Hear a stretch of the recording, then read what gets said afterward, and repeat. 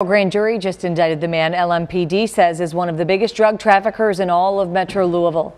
Investigators believe 41-year-old Joseph Lanham is the leader of a multi-million dollar drug ring. Police raided his Jeffersontown home on Pine Lake Drive in 2022, saying they found drugs, cash, guns, and designer clothing.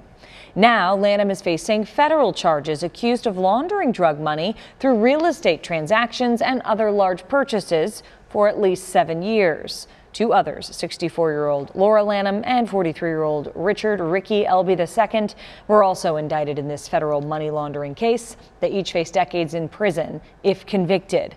Lanham's separate trial for state drug trafficking charges is set to begin in October.